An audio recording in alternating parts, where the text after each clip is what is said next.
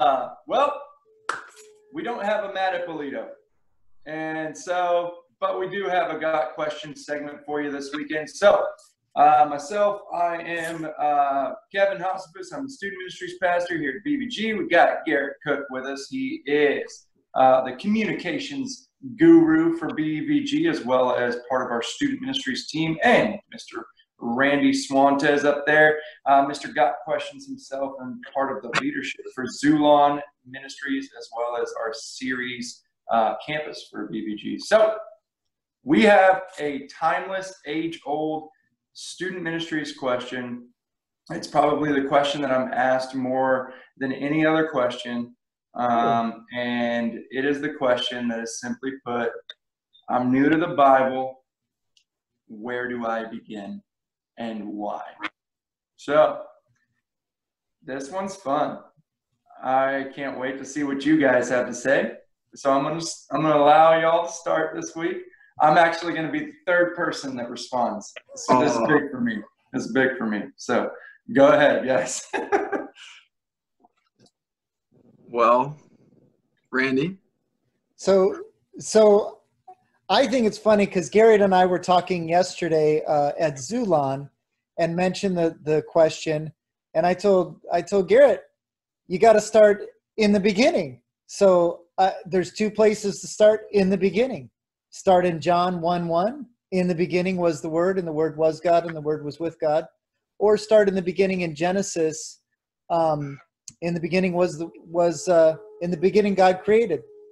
Um, but in all seriousness, I I don't know that I would start with John, but I would definitely start in the Gospels because there's a reason that whoever uh, asks you this question, generally speaking, there's a reason they're asking it and I I like the idea of starting with the Gospels, not necessarily John, because I don't know that John is as accessible uh, initially to a new Christian, but I would say Matthew, Mark, and Luke uh, pretty accessible. And then for me, the way I think is understanding the history and and we kind of understand stories. And as Matt always says, I'm not talking about stories once upon a time. This is the real thing.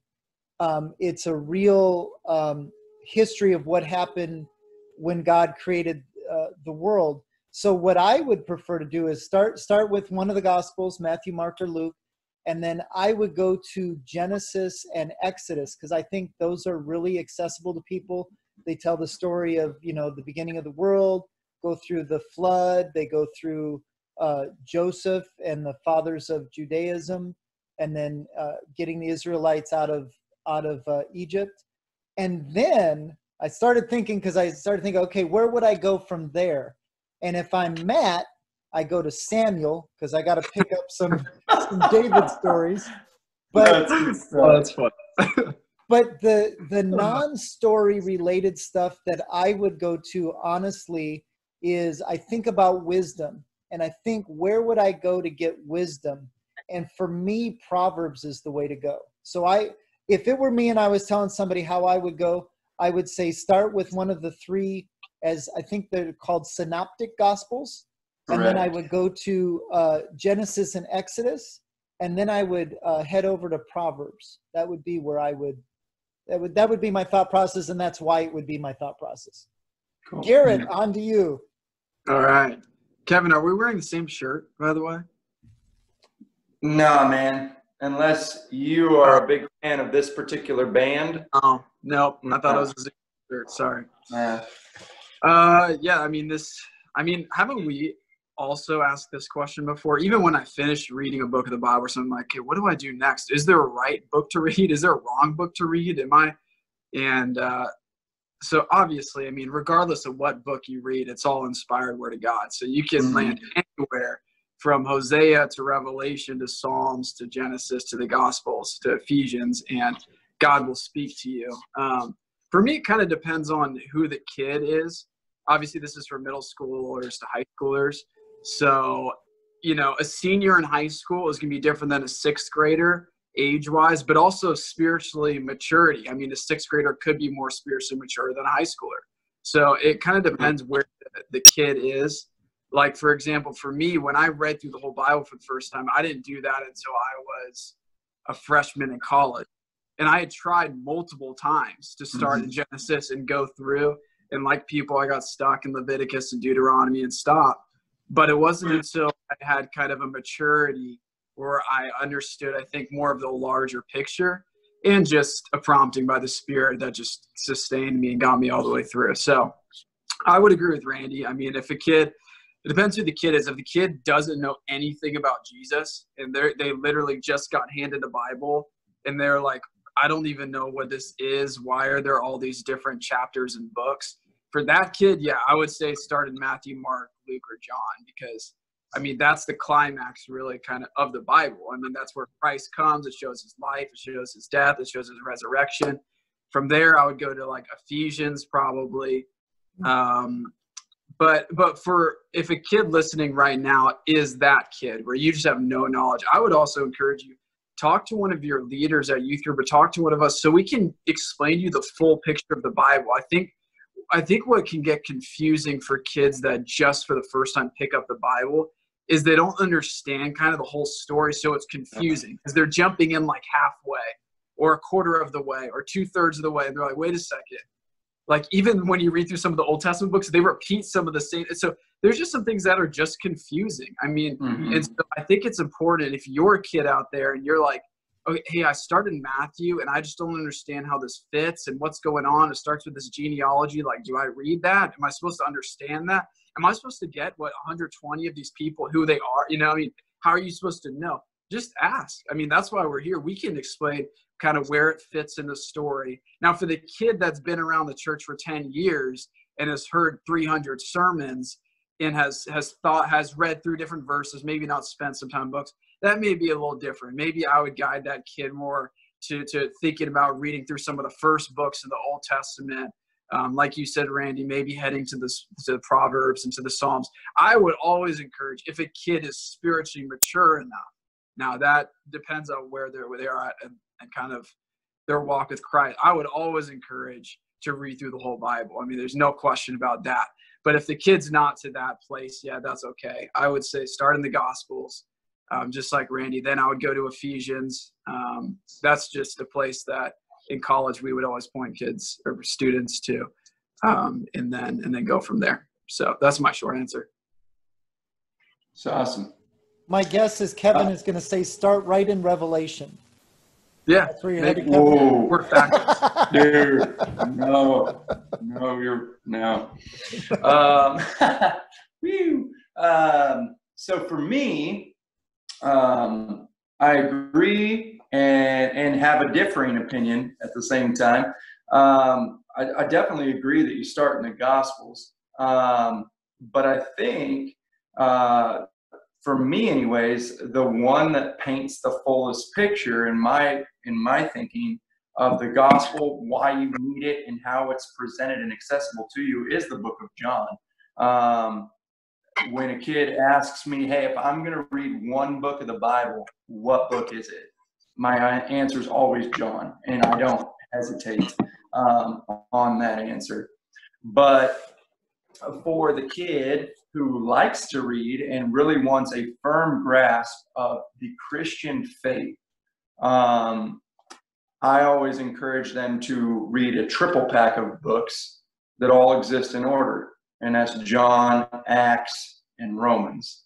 And so, with those three books, you have the story of Jesus, his redemptive work on the cross, the beginning of the church, and the advancement of the church. And then you've got this this theological megatron of of Romans, which as they now have an understanding of who Jesus is and what he accomplished and the church that's founded on him, then all of a sudden you get to Romans and you're like, whoa, you know, the top gets blown off with all these theological nuances and different things going on. Um, it is a lot to take in, but for the kid that may be on that more you know kind of mature level of their faith but they've never actually picked up the book um, that's my biggest challenge to them is to go through those three in the order that they're presented um, for the kid who wants a mix match, who wants the New Testament, Old Testament, I challenge them to read, like Randy said, John and Genesis, um, because those are the beginnings. Um, you know, you see the phrase in the beginning with the beginnings of both of those books. Um, I think the thing that when it when it comes to trying to read through the whole Bible, and I I love that challenge. I think that it's something that we should continue to extend to our students and to ourselves the things that the thing that students tend to get caught up on in reading through the whole Bible is the layout of the Bible. They don't understand that it's not chronological. Yeah. And I know that when once I learned that it's broken up into chunks, it was very uh, much it was just easier for me to kind of understand and, and see where things were kind of laid over.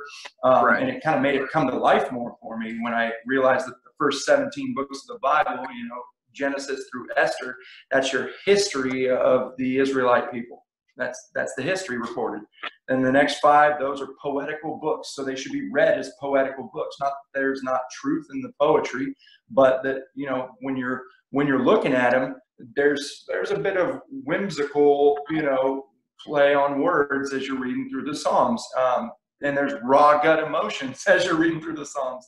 Um, and uh, and then the next 17, you got the prophets, you know, and those prophets are interlaced between essentially the Samuels all the way to Esther, and that's where they exist. And so that was super helpful for me to realize that those last 17 books of the Old Testament all exist within the timeline of the first 17 books of the Old Testament.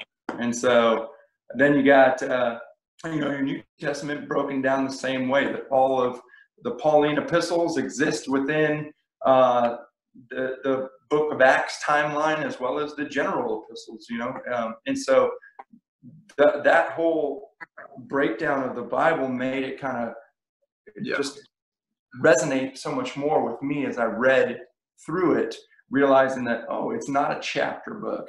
Like it's it's inspired writing, and these writings are categorized, but they're all interlaced on the timeline. So, anyways, that's my two cents on that one. I, I How about this question, guys? We're gonna do it. Oh, you got something, Randy? Yeah, I was just gonna say. Um, I, I love what you're saying about the, the the structure and the makeup of the Bible uh, we have in in our small group we've had discussions um, because there is a different feel to the Old Testament versus the New Testament, and and I hear people uh, a lot saying, "Oh, that's the Old Testament God, and this is the New Testament God." And and one of the things I just wanted to mention is, God is the same and always has been the same.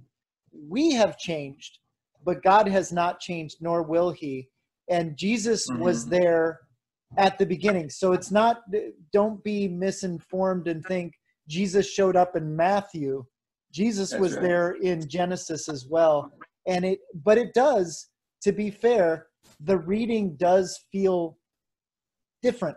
And, and when Jesus um, fulfilled the covenant, history changed and the writing changed. And I think that's just mm-hmm. important to really know. So anyway, yeah. that just popped into my head. But you had another question. Uh, yeah. Oh, go ahead, Garrett. Real, real quick, before we are you jumping into a related question, or is this? Yeah. Okay, yeah, no, it's related. Go ahead. It's it because it's a it's usually the follow up question that the student gives me after the hey where should I start, um, and it's personal to each and every one of us. But then they they usually always ask, well, what's your favorite book of the Bible? At least, at least when kids ask me, "Hey, where should I start?" Then they go, "Oh, okay, that's where you, say I should start. W- which one's your favorite?" As if, like, all of a sudden, you know, my opinion of my favorite book of the Bible is going to, you know, lead them to go to that particular one instead of, "Hey, this is where you should start for your own maturation of faith." But uh, what do you think? Want to throw that around? Sure. Yeah, I was just gonna just real quick. I was just gonna throw out a few more tips for kids that maybe are just starting. One thing that's always smart or helpful for me, and I'm sure for you guys, is get someone else to read the same book you're doing, like with you, um, and and talk about it. Because there are things like I remember I used I met up with this guy in college who just came to know Christ. He was going through John, the guy was so confused by the first chapter of John. And for me, I, I had been a Christian for a long time. I didn't realize he was going to be so confused. And so, but thank yeah. the Lord, we started going through it together and he started pointing stuff out. I was like, man, I'm glad we're meeting up and like that you didn't just do this by yourself because mm-hmm. there's things, I mean, he didn't know what son of man was. He didn't know what any of that stuff meant, but how would sure. he? He just met Jesus. And so that's always helpful. Um, go through with a leader or check up with a leader every week or another student. Tell them what you've been reading. The other thing is nowadays there's just so many resources out there. Um, like I think about Got Questions, not what we're doing, but I think it's gotquestions.com or .org. Um, Gospel Coalition, Desiring God, Blue Letter Bible. All of these are like so helpful, and I think it's easy. It's kind of weird. Like other stuff in life, we're so fast to be like, "Oh, let me Google it." But then when the Bible sometimes we read something yeah. that doesn't make any sense. It's like, dude, people have been talking about this for thousands of years. Glean wisdom. Now you got to be careful where you're taking it from off Google, obviously. But um, there's some really, really awesome. I love Blue Letter Bible. That's always super helpful oh, for yeah. me because it's so simple and it breaks things down. So if you're a kid out there and you're reading Matthew 7, you know, 10 or whatever, and you're like, what in the world? I did not understand how this fits in just go check out Blue Letter Bible, check out Desiring God, check out those websites. If you need more, let us know. Okay, my favorite book of the Bible. I don't know if I have a favorite book of the Bible. It's kind of weird. So come back to me. Actually, I, I want to think about All right, Randy. All right, I'm having some lagging issues, so hopefully this won't be too bad. But I do have a favorite book of the Bible, and it really came from a Bible study we did as a small group, and it just was going through verse by verse. And I'm a guy who likes plot. So I'm a fan of Genesis and Exodus. I like there to be action. I like there to be, you know, this person did this. I am not good at the real, um, the deep, the Pauline epistles. I struggle with it. I really struggled in Daniel for the second half of Daniel. But this Bible study was uh, James, and James was fantastic. I mm-hmm. really, really got a lot out of it because we slowed down, slowed way down. We read the passages very carefully, and there is a ton of really deep wisdom and instruction in James. So I'm a big fan of James. Kevin, what do you think? Uh, yeah, so my favorite book of the Bible is John. Um, but I, I agree, James is, is fantastic, especially as you understand who James is uh, in connection with Jesus and how James starts his letter. Um, and I do love the practical application of James, being that it's essentially like a, a book of marching orders for the Christian faith. And so I do like that aspect as well. Um, but there's little nuggets throughout the Bible that I enjoy. There's obscure books of the Bible that I enjoy. One of my favorite books is Haggai, uh, which a lot of people are like, uh, "Bless you," um, but uh, it is it's a book that I like. I even have favorite chapters when I'm really honest. Ephesians chapter four is my favorite chapter of the Bible. Close second is Luke 15. Um, but uh, yeah, if I'm gonna pick an overall favorite book, uh, it's John. That's that's my that's my hmm. book. I don't know. It's hard. I mean, it's hard too because they're all so different. So it's like hard to. I definitely like Matthew. I love love reading Matthew. I love Philippians. Mm, yeah. Philippians. I got quite a bit of time in. I love Philippians, but I don't know. That's I'll have to think about that. I don't know if I have a favorite favorite book. Will you get back to us on that one, Garrett? We'll pray for you. Thanks, man. well, anything else, guys? I would say good. I would say just be encouraged. If you're a kid that just picks up the Bible and you're starting, just be encouraged. It's this is all a journey. Like there's there's things that you'll read. It's okay if you don't fully understand it. It's okay. That doesn't mean you're not a Christian. That doesn't mean you don't love Jesus. It doesn't mean he doesn't love you. It's okay. Just keep pushing through, keep persisting, talk to your leaders. Know that all of us have been in the place where we've read verses and not understood what it's saying. And that's okay. That is totally okay. And uh, the problem is when we never talk about it, we think we're the only ones. And I'm telling you, you're not. I still read verses and I'm like, I do not know what this is saying. And just so just be encouraged in your desire to spend time in the Word of God God sees and, and He wants to speak to you. And so, so be encouraged that um, even if you don't fully understand the verse, just that moment spending with Jesus in His Word is precious. So, I would uh, I'll piggyback that um, with this thought. Just because you read a book once, a book of the Bible once, doesn't mean you're done. Um, I've I've read the Bible a lot in my life, and I am continually amazed at how when I pick it back up and I read through a chapter that I've read through, I don't even know how many times, the different takeaways that I get as the Holy Spirit does what the Holy Spirit's going to do, and that's illuminate passages for you um, as you read.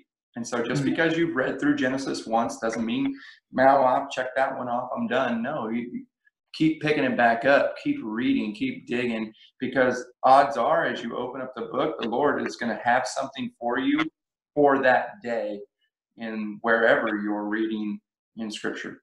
And what He has for you that day will be something different the next time that you read it. I can almost guarantee that. Or He'll give you an amazing reminder of the first time that you read through that, or the second time that you read through that, or the third time, or whatever it may be.